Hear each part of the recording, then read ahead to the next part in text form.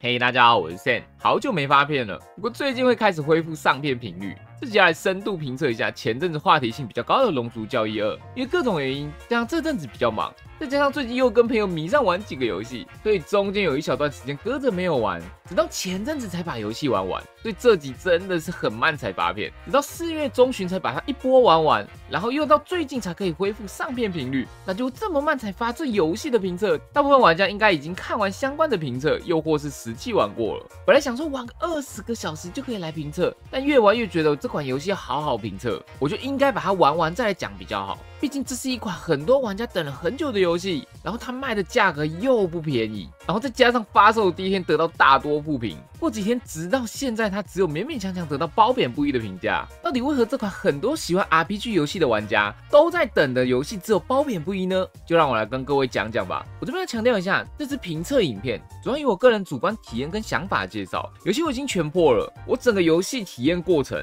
查了几个中期比较让我苦恼的问题的资讯，我也没有只冲主线，在尽量慢慢体验游戏，也在能力范围下把周遭能找到的支线能跑的尽量跑了，直到全破游玩时间大约是五十三小时。说长不长，说短不短吧。另外就是我并没有玩过《龙族教义》一代，所以也不会拿一代来比较，纯粹是以一个头一次玩这系列的玩家，对于它的游戏性、它的内容以及它的价格去评测。这集内容中可能有一些暴雷，但也只有一丁点而已。如果建议一咪咪暴雷的话，现在可以关掉这一片了。那么评测就开始喽。先讲一个我比较主观的重点吧。基于这个游戏在现在的价格蛮贵的，而且游戏其实是好玩的，但在各种优化上的问题，我个人觉得，除非你对这游戏非常非常有兴趣，观察了一阵子，还在考虑要不要入手，我会觉得可以买。但如果你只是思考过要玩玩看，我反而觉得现在不是很好的入手时机。游戏贵，优化普通。现在说一下我买的版本吧，我是在正式发售前预购，还买比较贵的豪华版，价格二四九零。至于豪华版送了哪些东西，我就不详细说明了。我只能说，根本就是被当盘子。游戏本身就不便宜，豪华版多加三百，你换来一堆初期很快就能拿到的东西。重点是初期哦。当初会买这个豪华版，其实还有官方会透露给一个名为安心戒指的装备，但并没有说明这个戒指有什么效果或功能。已经接着让很多玩家为了这个买单的豪华版。起初让大多数买豪华版的玩家最头痛的就是不知道哪里领取豪华版的东西，搞得一堆人人心惶惶。我一直玩了两个小时左右，到了主城。在旅馆仓库里面找到的，就换来那个名为“安心戒指”的戒指，不但不让人安心就算了，我在游戏初期玩到差不多一个小时吧，就把它丢进仓库收起来了。再说说这游戏吧，目前这游戏最大的硬伤，也就是它的优化问题。到目前为止，最多玩家抱怨的问题，在商店页面中关于系统需求的部分，最低配备是 i 五一零六零零十六 G 记忆体以及显卡 GTX 一零七零，这样算起来，我旧电脑应该是跑得动这款的。但目前我的新电脑配备是 CPU i。七一三七零零，机体三十二 G，显卡 GTX 四零七零钛。在这样的配置下，我已经尽量将画质调低的情况，我只能说还是很惨。CPU 长度六十五到八十度，只要开启游戏，我的电脑风扇都会一直处于高速运转状态。帧数部分在二 K 的情况下，可能会大概一百出头浮动，主程大概六十到八十之间浮动。但时常因为各种不同场景转换，或是大型怪物出场，随着我们释放技能，总之就是各种原因，整体帧数浮动非常大。所以我自己干脆锁六十帧，但还是偶尔会遇到游戏卡顿的。的问题，这时候我又会有点肚烂。你一款游戏卖两千多，优化居然这么惨，在游戏推出前也不出个试玩版，各种画大饼。最终端出的东西优化却不是很好，有种你去高级餐厅花大钱吃牛排，结果餐厅端出市场拼装牛排的那种感觉。虽然这种形容可能夸张了一点，但至少我自己就是这种感觉。所以现阶段电脑配置不是很好的人，真的很想玩这款游戏，我个人还是建议可以多等一段时间，不然这游戏真的是时常都蛮卡的。但撇除以上几个问题，这期在 RPG 类型游戏里面，我觉得还是很不错的。接下来我会说说游戏中我觉得好跟不好。的一些游戏内容，我不知道一代是如何，所以我要再强调一次，我是以我个人第一次玩这系列的玩家，且非常个人主观的感受来说，也许我说的点对其他玩家来讲是很棒的设计，也说不定。整体剧情跟游戏体验是很不错的，但地图非常大，点跟点之间、城镇跟城镇之间距离非常遥远，导致那游戏花超级多时间都在跑步跟赶路，然后在这超大的地图上，随时无时无刻都有怪物出现。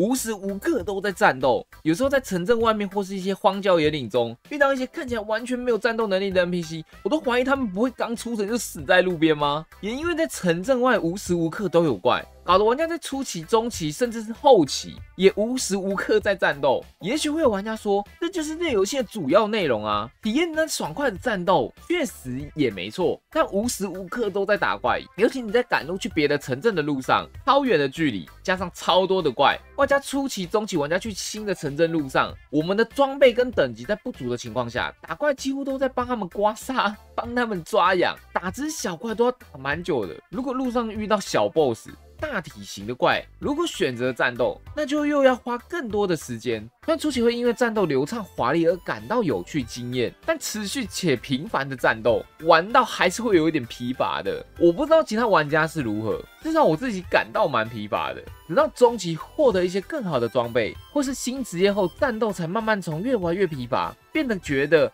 嗯。打起来挺有趣的，游戏中也有着不少小 bug，虽然不影响游戏体验，有时候遇到也会觉得挺好笑的。譬如这只游戏初期的巨人，同样在游戏初期，我们抓到了一个在侦查主角的密探，因为我觉得这角色很欠揍，结果就有了以下状况。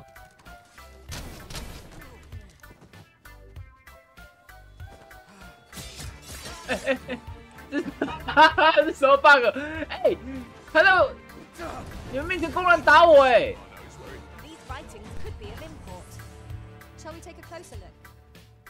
啊啊啊！他死了呢？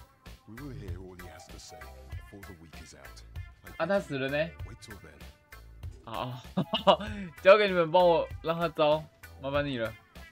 对我把他干掉了，好在剧情是能正常进行，好笑归好笑，但会觉得，呃，这游戏卖这个价格，还有这种低级 bug，实在令人有点惋惜。再就是一个基于首发当天我就玩，又是第一次玩这系列，完全不查攻略的情况，这边会有一点小暴雷，但不是剧情方面的，而是玩家心态上面的。不介意的话，建议可以看一下我个人的惨痛经历，也就是我遇到了随众染疫事件。我要强调，因为我在首发前就先预购，首发也就是游戏可以玩的当下开始玩，在这两天内一次玩了二十多小时，游戏进度也算到了中期。这时间在网络上还没有太多相关的攻略或文章，在这期间我有收到水中染疫的说明，但我不以为意，想说就算中奖了，也来看看到底会发生什么事情。嗯，结果就在游戏进行中，让主角晚上睡觉回个血量状态，早上一起来就发生了瘟疫大爆发。很好，我又是在主城睡的，直接全程死光光，包含重要 NPC 一个都不留，直接变成空城，